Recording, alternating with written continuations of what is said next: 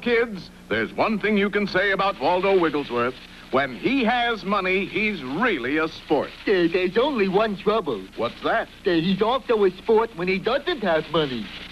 Uncle Waldo, that's our last dollar you're lighting your cigar with. Well, what else can you do with a measly dollar these days? We could use it to pay some of our bills. Hoppity, we have more bills than two sessions of Congress. One measly buck isn't going to help.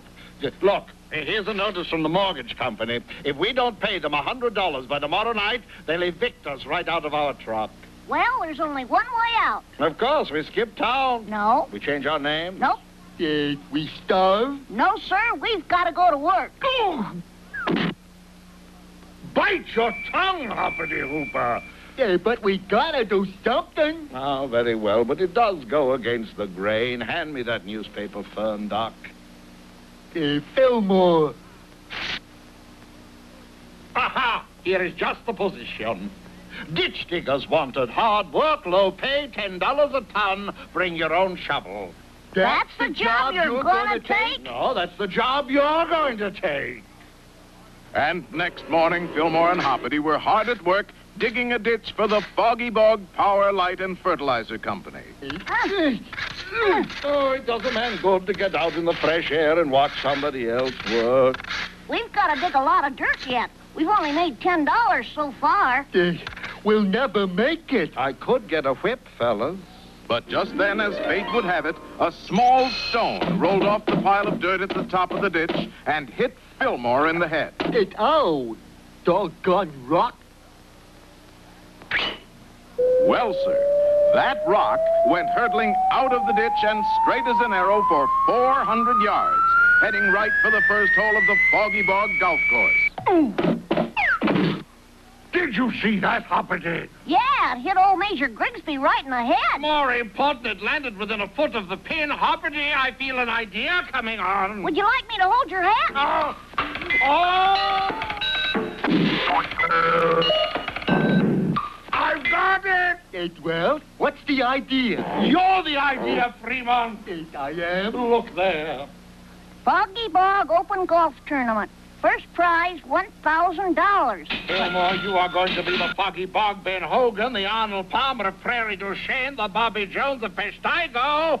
He's going to be a golfer? Going to be, he is. You are looking at the greatest power swinger since Babe Ruth. He was a baseball player. Whatever, come on. And in just a little while, Fillmore was outfitted in the latest golf tog Uh, on credit, of course. and entered in the Foggy Bog Open.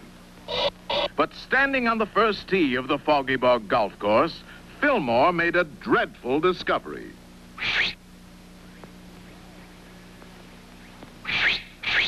Uh, I can't hit the ball. You've got to, or we lose our happy home. Uh, this club is too small. Come on, Fillmore, back to the ditch. Uh, fuzzy buzz.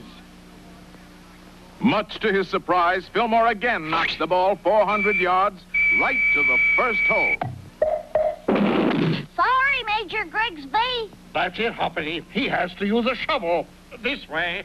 Now, Fillmore, just tap it in. Uh, can I move the ball one club length away from Major Grigsby? Play it as it lies. It's okay.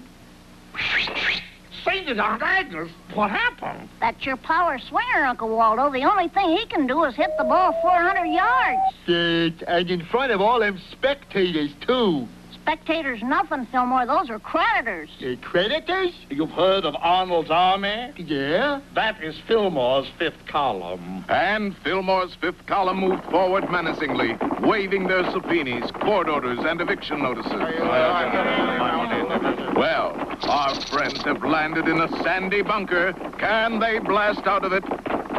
Don't miss our next episode Divot Diggers or The Wearing of the Green. Uh, and you can see it later in the show, so stay tuned. Hmm? Well, Waldo Wigglesworth thought he was pulling a fast one when he entered Fillmore Bear in the Foggy Bog Open Golf Tournament. To be sure, using a shovel instead of a club, Fillmore was able to drive the ball a long way. 400 yards straight as an arrow. But when it came to putting, That was another story. No, it's the same story. 400 yards, straight as an arrow.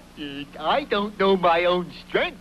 What was worse, our boys were being tagged by an army of creditors waving overdue bills. Oh, hold on, good people. Our only chance of paying you is for Fillmore to win this golf tournament. But he can't putt. Uh, nobody's perfect. Right, and there's only one way he can possibly win. Yeah, if all the other players drop dead. No, but you're getting warm. You mean... I sure am. Come on. Well, from that point on, it was Katie bar the door. Other players found themselves in unforeseen difficulties as Fillmore's fifth column infiltrated the tournament to make sure that their hero won. Four. Four.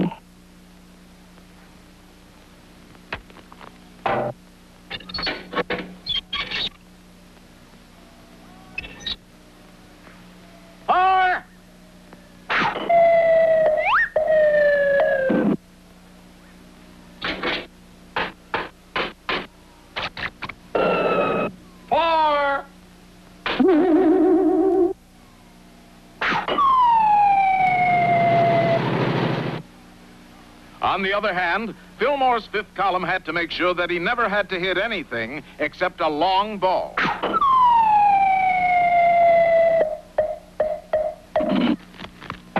A hole in one.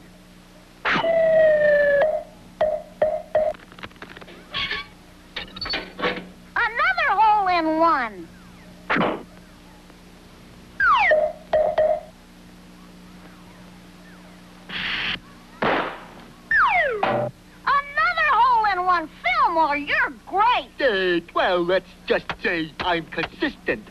At the last hole, there wasn't much doubt about who would win. Ward 90, Hayward 89, Turner 88, Fillmore 26. Now, this hole is 575 yards, Fillmore. You gotta really powder this one. After you get on the green, I think you've got it made. That was true, for Fillmore's fifth column had dug the last green into the shape of a huge funnel, Just one more, Fillmore. Swing your hardest. and Fillmore did. He swung so hard that he spun all the way around, and around, and around, and around.